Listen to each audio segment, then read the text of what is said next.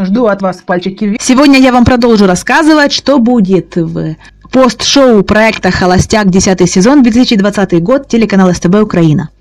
Это уже второе видео, продолжение первого, и я расскажу, что будет во второй части пост-шоу.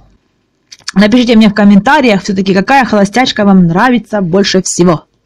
Также будет раскрыта провокативная информация о девушках, о том, что у Кристины был парень во время проекта, и я не вижу ничего в этом страшного. Значит, у холостяка может быть много девушек, а у, Крис... а у одной из девушек не может быть парня?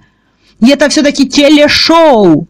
Мы должны быть хотя бы немножко гуманными. Это какой-то гарем получается, если у них даже нет своей личной жизни. Если они не просто снимаются, а действительно добровольно сдаются холостяку в рабство.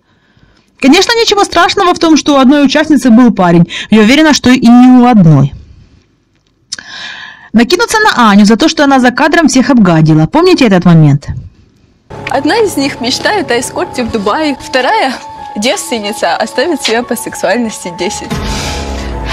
Третья прыгает из проекта в проект. А четвертая, по сути, крыса. Будут обвинения девушек в эскорт-услугах. Будет больше драмы, чем на самом проекте. Аня будет желать смерти Алине. Будет огромнейший конфликт. Мы узнаем, как сложились отношения Макса и Даши.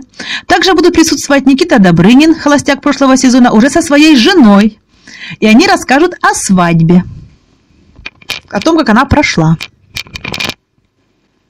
Напишите мне в комментариях все-таки, какая холостячка вам нравится больше всего.